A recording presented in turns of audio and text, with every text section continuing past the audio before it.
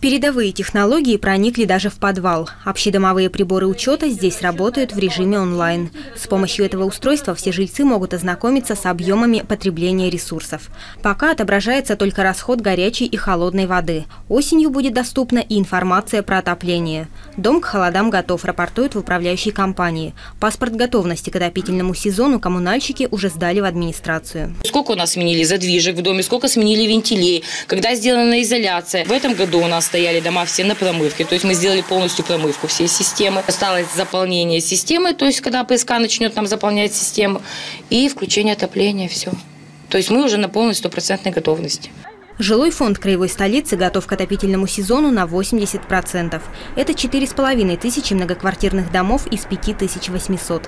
Теплоэнергетики приняли все объекты социальной инфраструктуры – детские сады, школы и больницы. Если сравнить с прошлым годом, то в принципе, мы идем по всем показателям, по всем трем направлениям соцсфера, многоквартирные дома и коммунальная инфраструктура в параметрах прошлого года. Объекты социальной сферы подготовлены были на неделю раньше.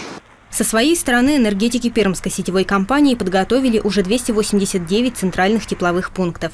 Это 96% от плана. Завершены традиционные гидравлические испытания теплосетей. Однако не все управляющие компании торопятся провести опрессовку в своих домах. Достаточно большая э, степень подготовки на сегодняшний момент. Но есть, к сожалению, у нас э, управляющие компании, которые, ну, видимо, не хотят готовиться к отопительному сезону. Нам нужно будет совместно управляющей компании неким образом взбодрить.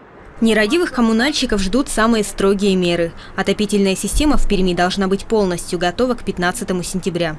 За это время городские власти и теплоэнергетики должны решить все текущие вопросы, чтобы к началу холодов батареи в квартирах пермяков прогрелись должным образом. При этом стоит помнить, что с этой осени изменится и система оплаты. Счет за тепло будет приходить только во время отопительного сезона, а не в течение всего года, как это было раньше. Александра Михеева, Василий Дулепинских, телевизионная служба новостей.